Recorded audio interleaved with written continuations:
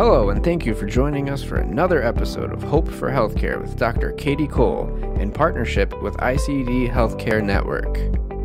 Dr. Katie Cole is a holistic physician, organizational well being consultant, and change agent, working with industry leaders and proven strategies to heal our national healthcare system and our culture of medicine. Stay tuned to hear today's speaker.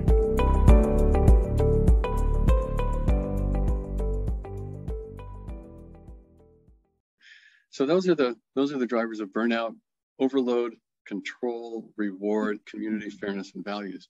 How do all those then get addressed? And what can you do actually in your work to actually make a difference? One of the most effective ways to do this that's relatively simple to get started, but can have a major impact is do, starting a daily huddle with the mm, team that you work yes. with. And that there's key things to do it. And a lot of people say, oh, huddles, ah, yeah, know, we, we did huddles. Yeah. we, we do huddles. You know, either they don't work or, you know, yeah, we, we take five minutes, we get it done because we have to. Um, but a, a huddle done intentionally actually can address all six of those drivers of burnout very effectively. The, uh, so and, and the huddle should have a few major uh, significant components in its agenda.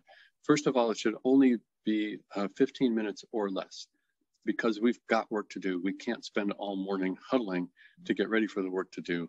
And at first, when we introduced this idea, people even tell us, well, wait a minute now. On one hand, my leaders are telling me I need to be more productive. And on the other hand, now you're telling me I need to take out a 15 minute slot that I could be seeing patients in to, in order to do this huddle. Which do you want? Do you want me to be more productive or do you want me to do the huddle? In fact, when people are doing huddles well, they become more productive because the rest of the day goes so much better. And mm-hmm. all the little glitches that go wrong uh, get re- gradually improved upon. So we can have a better day and actually see more patients. It, and, and so when you first start a huddle, you may not be able to get it done in 15 minutes. And then you can decide, do we want to go longer and get through every step? Or do we want to just say, nope, we're cutting it off at 15 minutes and we're going to learn to do it more efficiently as we go mm-hmm. through. Either approach that works best for you is fine.